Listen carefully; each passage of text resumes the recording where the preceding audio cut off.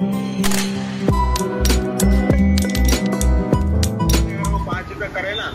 आपका बैंक खाली हो जाएगा। हैक हो गया और हैक होते उनके अकाउंट से पचास हज़ार पे चले हुआ है क्या? मैंने समझाई थी हाँ जी। इस तरह के बातों में बताना से बात कर दो उनका बच गया ना आपने उनको तो बच गया उनको मैंने बोल दिया।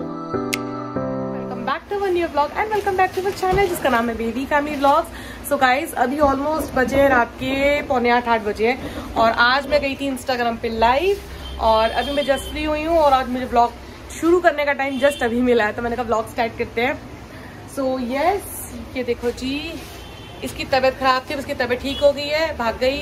तबीयत ठीक है मैं सबको बता दे अब। तबीयत ठीक है? इसकी तबीयत ठीक है और वो बेखा में हंसती रहती है ये उसको दीदी बोलती है तो मुझे समझ में नहीं आता इतनी इज़्ज़त किस बात की दी जा रही है।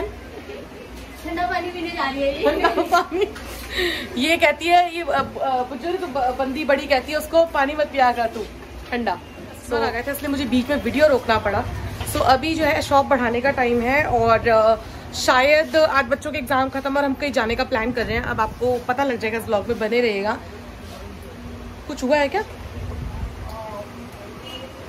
नहीं नहीं पकड़ियो। कस्टमर फ़ोन आया कस्टमर कह रहे हैं कोरियर का फ़ोन आया मतलब कोरियर वाले को जो है क्या हुआ? राइट नहीं है कि कस्टमर से आप पैसे मांग रहे आपने हमने पेमेंट कर रखे हैं ना तो आपने एक रुपया नहीं करना क्या हुआ भाभी कोरियर किसी क्लाइंट का गया है, तो मे भी शायद कोई प्रॉब्लम हो गया। क्यों कह रहे हैं कि आप एक रुपये एक रुपया मत करना ऐसे आपका जो है ना अकाउंट से लॉस हो सकता है ऐसे आते हैं। आपको करना ही नहीं है। आपने हमें पेमेंट कर रखी है ना शिपिंग तो वहाँ पे एक रुपये नहीं करना। कोई कुछ भी कह ले आपसे एक रुपया करवाएगा तो आपका नुकसान हो सकता है। खाली मेरे से नहीं आप किसी से सामान लेते हैं शिपमेंट मंगवाते हैं आपको नहीं करना पेमेंट नहीं करना। ओके एक्चुअली ना कस्टमर फ़ोन आया उनका जो कोरियर गया है ना वो कह रहा है किसी कोरियर वाले को फ़ोन आया जैसे हमारे डिलीवरी में गया है। तो वो कह रहा है आप हमें ना एक रुपया कर दो नहीं तो आपका कोरियर ना वहाँ पे मतलब कि कहीं हो जाएगा मिस रूट हो जाएगा तो आपको मैं दे दूँगा आप मुझे एक रुपया कर दो तो मैं आपको कोरियर प्रोवाइड करा दूँगा शाम तक। कह रही मैं क्यों पेमेंट करूँ? मैंने तो, तो कर रखी है मैं बिल्कुल सही है बात मैम। तो आप ऐसे करना ही मत क्योंकि किसी को कोई कंपनी को ना ये राइट नहीं कस्टमर से पेमेंट मांगे तो आप पहले कैसे सामान लेते हो शिपिंग नोटिस होती है या शिपिंग की होती है जो भी होता है। कोई- कोई आपसे पेमेंट नहीं मांग सकता वो भी एक रुपये ऐसे ऐसी ना सेम हैं। हमारा ब्लॉग भी बन रहा है। सो गाइस मैं आप लोगों को भी बताती हूँ एक्चुअली मैं ये बताना चाह रही किसी कस्टमर के साथ होते होते बच्चे और ये मैंने रिसेंटली किसी पेज पे है, कोई नाम नहीं लूँगी उनका मैं तो उनका लाइव सेशन देखा तो उन्होंने भी सेम बात बोली कि उनके भी किसी क्लाइंट को ऐसे ही फ़ोन आया कि आप तीन रुपए पेटीएम करोगे तो कोरियर आपको रिसीव होगा। तो उन्होंने ना ऑफ़िस में काम कर रही थी बिज़ी थी, उन्होंने ध्यान ही नहीं दिया, जबकि वेल एजुकेटेड बंदी है ऐसा नहीं कि उनको पता नहीं फ्रॉड्स का। बट उन्होंने ध्यान नहीं दिया, उन्होंने कर दिए। मतलब जस्ट करते ही उनके, उनका अकाउंट हैक हो गया और हैक होते उनके अकाउंट से पचास हज़ार पे चले गए। अगर इससे ज़्यादा होते तो उनको और नुकसान हो सकता था। तो ये तो बहुत गड़बड़ वाली बात है बहुत ज़्यादा। सो गाइज़ आप भी कमेंट करो मुझे बताओ किसी का ऐसा कोई फ्रॉड हुआ हो तो ये तो बहुत बहुत ज़्यादा मतलब टेंशन वाली बात है। आजकल तो मतलब माहौल ही नहीं है। वो मेरा कोरियर जो रिटर्न आना वो आ गया अच्छा एक बात और बताओ मेरे कस्टमर फ़ोन आया अभी। वो कह रहे हैं कि एक रुपया कर दो। हम आपको कोरियर दे देंगे तो मिस रूट हो जाएगा। ऐसा क्यों? तो कोरियर वाले ने फ़ोन किया मेरे कस्टमर को आप एक रुपया कर दो हमें पेटीएम तो हम आपको जो है कोरियर दे देंगे तो मिस रूट ना हो जाए। ऐसे कोई बोलते कोरियर वाला? भाई जी आपको पहले भी एक बात मैंने समझाई थी। हाँ जी। लेकिन इस तरह के बातों में बताना। ओके। और क्लाइंटों को भी साफ़ तौर पर अपने लिख दो अपने व्हाट्सएप पे।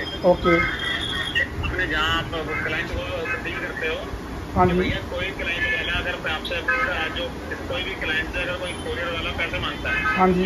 लिंक देगा मुझे लिंक पे ये कर दो और वो कर दो पाँच रुपये दे दो पंद्रह हाँ जी। तो बिल्कुल भी ना करें। ठीक है। ठीक है? आपने अगर वो पाँच रुपये करे ना तो आपका बैंक खाली हो जाएगा। तो एक बात और बताओ कोरियर को अलाउड नहीं होता ना वैसे? ऐसे मांगना एक रुपया भी। नहीं नहीं बिल्कुल नहीं। अगर आपने सीओडी करवाई है अच्छा। कैश ऑन डिलीवरी तो तो वो वहीं जाके कैश ही लेगा ना, फिर तो मांग ही नहीं सकता, तब भी नहीं मांग सकता पेटीएम से एक रुपया है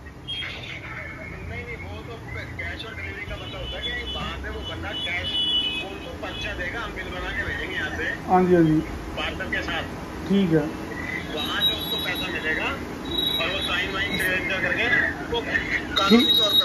ठीक है। नहीं सीओडी तो हम वैसे करते भी नहीं। कोई बात नहीं, वैसे तो वाले का राइट नहीं है ना, वैसे मांगने का बिल्कुल बिल्कुल बिल्कुल भी नहीं है बिल्कुल नहीं है भाई साहब ठीक है जी। मैं अपने हर कस्टमर को बोल दूँगा फिर। काम ठीक है sir. Thank you thank you sir thank you so guys आपने देखा ना मैंने कोरियर वाले को कहा बात हाँ। क्लियर ही कर दिया ना। मेरे को पता था वैसे तो ऐसा राइट नहीं है। कोरियर वाला कोई नहीं माँगता पेटिंग से एक रुपया भी।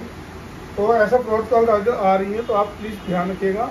मैं बार बार यही कहूँगा खाली आप मेरे से नहीं कहीं से ऑनलाइन परचेजिंग करते हैं।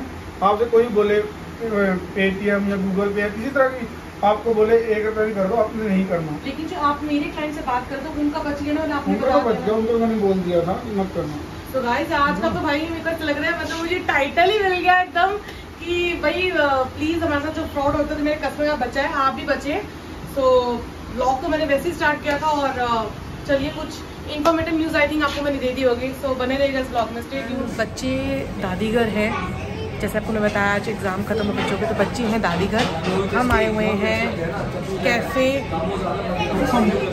रसम हाँ रस मंच में तो हम आए हुए कैफ़े रस मंच में जो कि हम यहाँ नया है ट्राई कर रहे हैं। सो मैं आपको बताऊँगी कि कैसा है।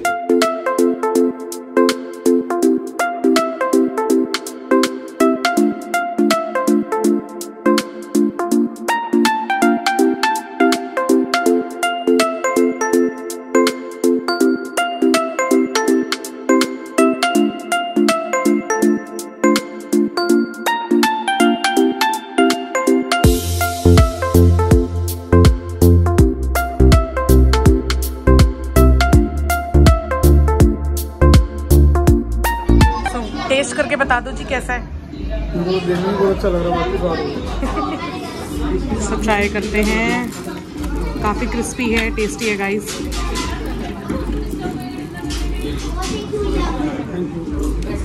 हमने डोसा जो है ट्राई कर लिया। डोसा इसका काफ़ी टेस्टी है। अब हमने मंगाया है फ्राइड राइस और चिली पनीर का कॉम्बो ये कमल और गुली का बहुत अच्छा फेवरेट है।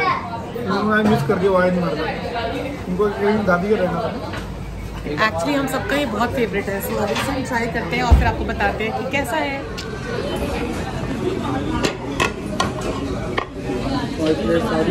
सब करेंगे।